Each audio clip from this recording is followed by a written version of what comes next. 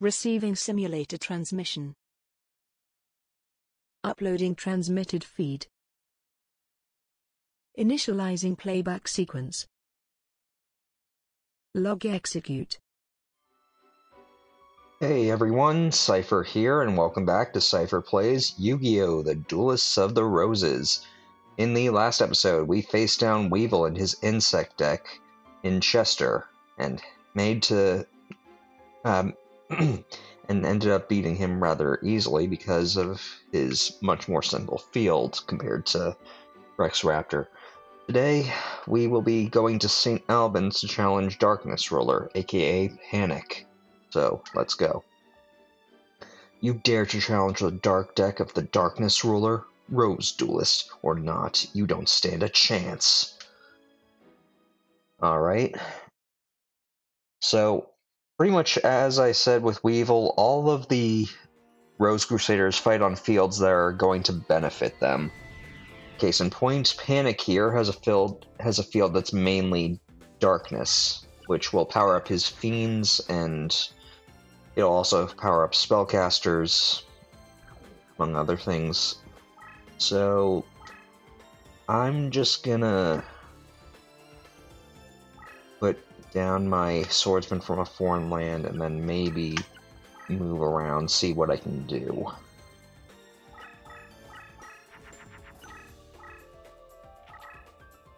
Okay.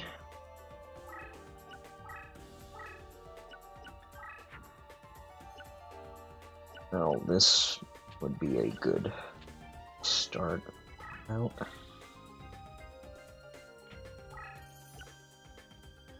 Let's just keep Giltia there. And maybe, if we're lucky, we can just manage to...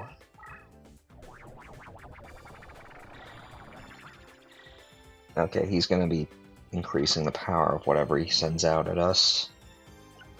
What should we do now?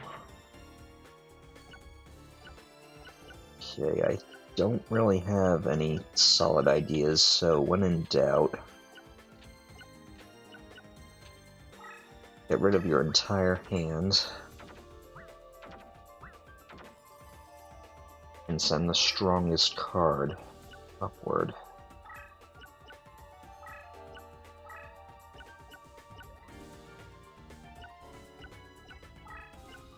So let's just see what we can do. Despite powering himself up, seems to be playing very defensively, so let's just...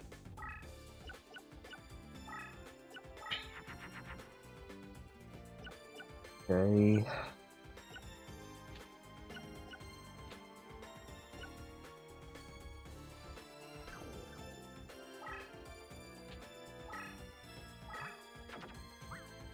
Probably a waste, but kinda need to do this. See what we can do.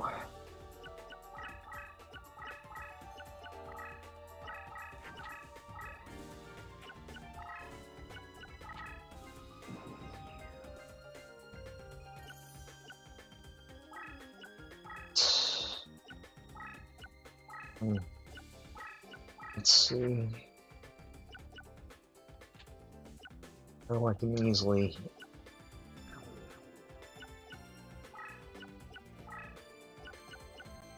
try and fuse these two because I'm pretty sure that'll create, yep, Flame Swordsman.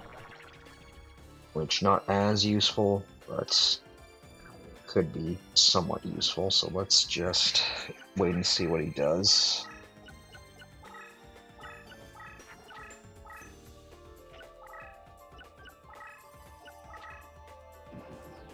I'm actually gonna pull Flame Swordsman back pull Giltia back. Okay.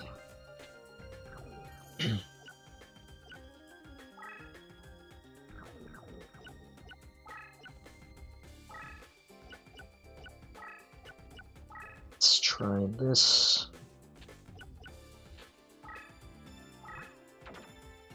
Yeah, I didn't expect that to work, so Just getting rid of cards. Hopefully I can pull either my trump card or Sogen to transform the field. Because right now he's just hunkered down.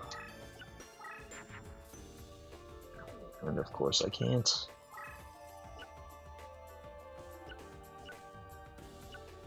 You know what? I'm just gonna do that.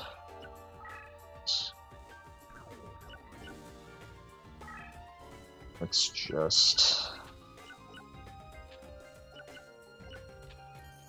bring out something at least a little stronger.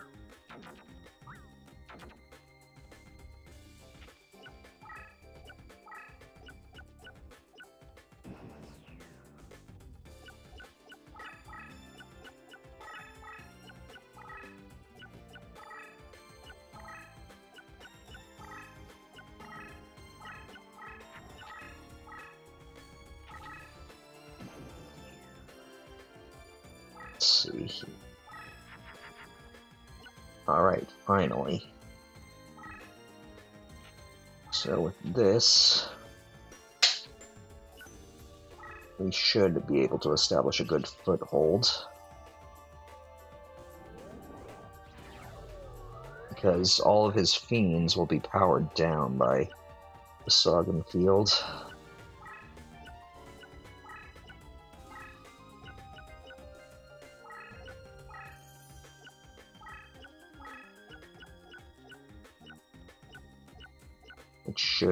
Good news for us.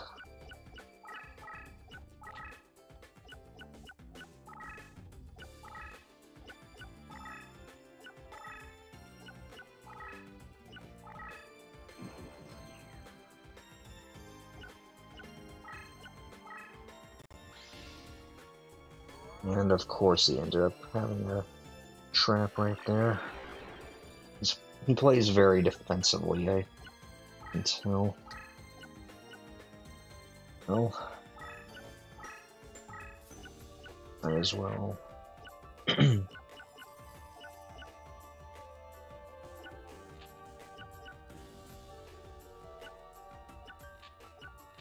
toss that card because I don't imagine it'll getting no use and use all of our cards.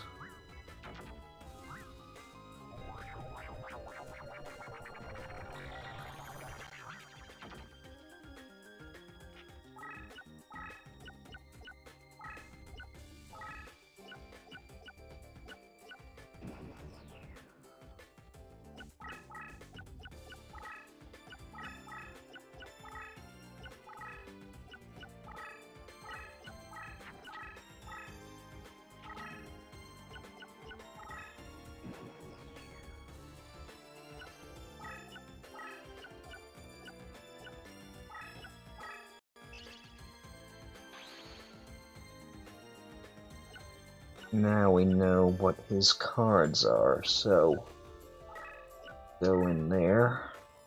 And of course his trap activated, so that's probably going to weaken me.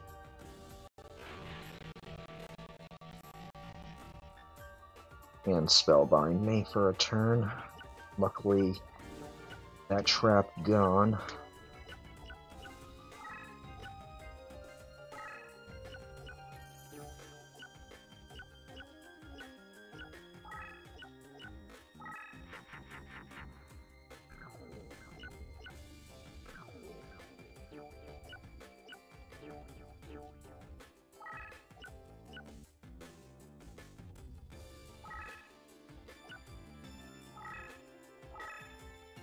Just put this down there.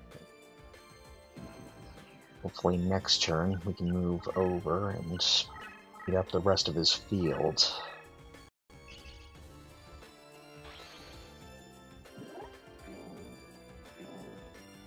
Okay, that's gonna hurt a little.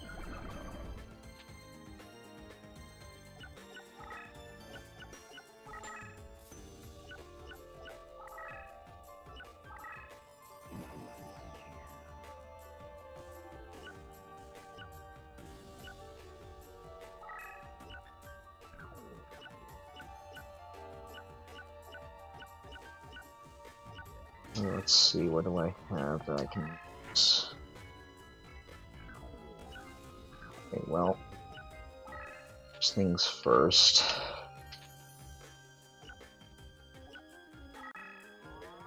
Just gonna extend whatever I can because I can't move forward.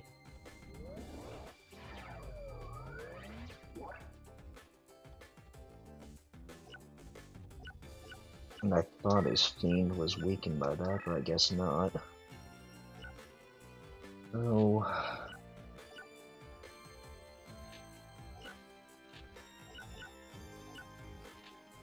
Let's just go tactical layer.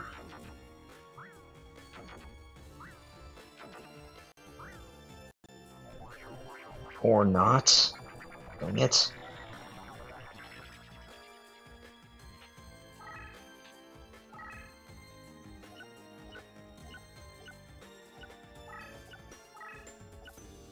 I have an idea for what we can do going forward, so this is probably going to eat up a few life points, but I need to make at least some move.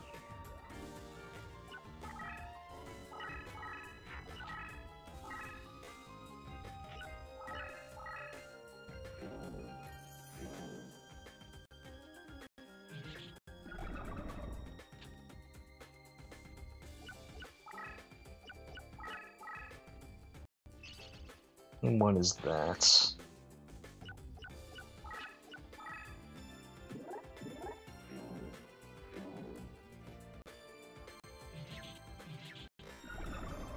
Okay. Well, at least we did a little damage.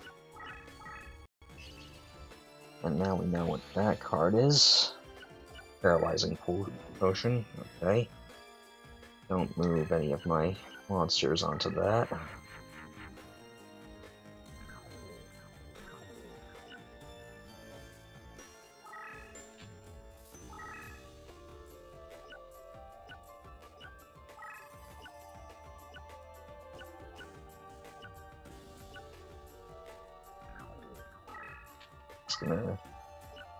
Do that.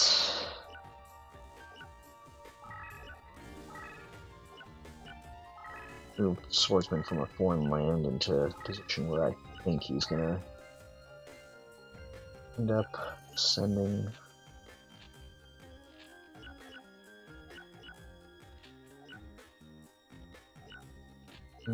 let's just get rid of these two.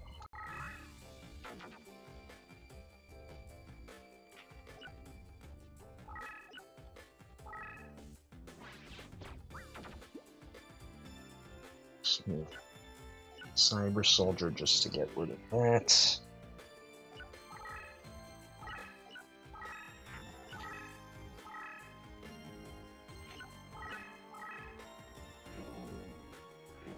Because I'm pretty sure he's going to press the attack with that Summon Skull, we are going to put Swordsman from a foreign land in defense mode.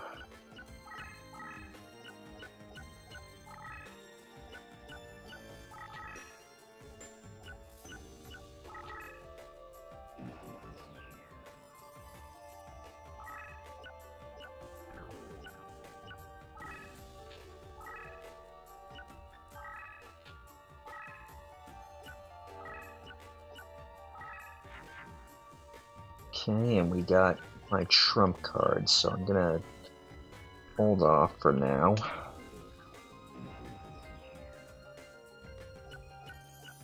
see what he does.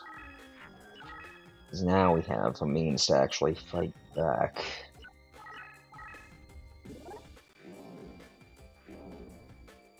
Get rid of his summon skull.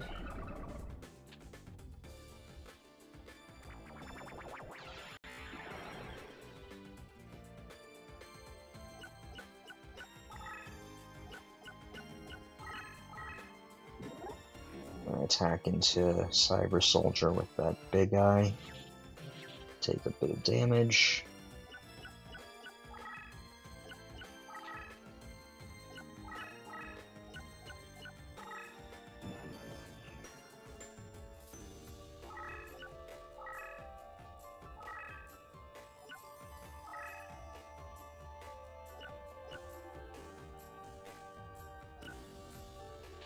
let's just throw out.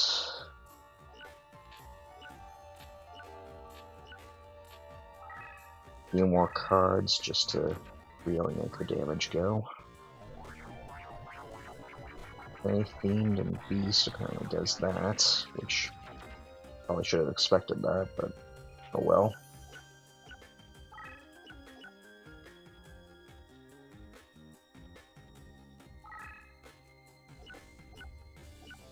And let's just destroy this big eye.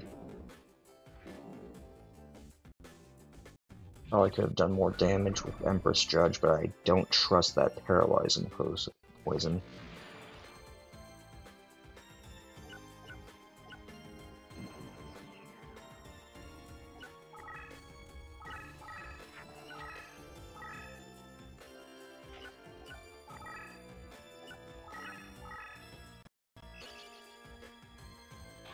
Is that? A hunter. A little, but I can't come back from. Oh, geez, that's strong. That's really strong.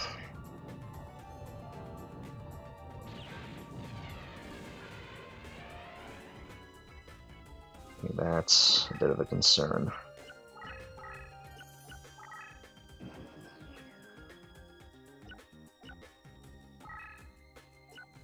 Okay.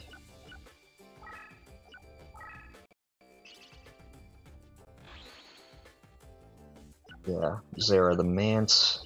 That's pretty powerful.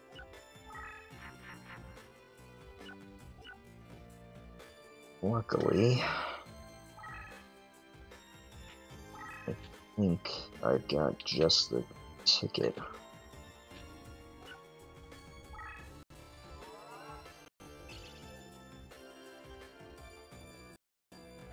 Probably all going to come down to one monster left in my deck, but I don't really have many options.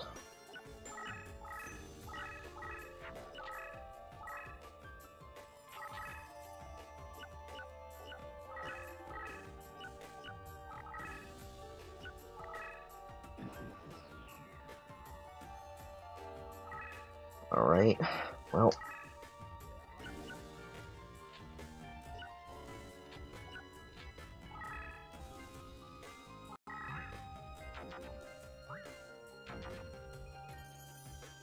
just in case he has a trap.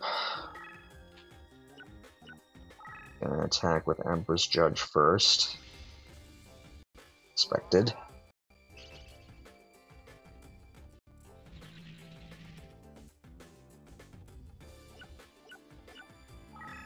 Now we'll go here, and because of our extended support range, we'll see if he has another trap. He doesn't, thankfully. And now we'll attack with Swordstalker, whose special effect in this game allows him to gain 100 points to his attack for every monster in your graveyard, so... Nuke. And just like that, we've won.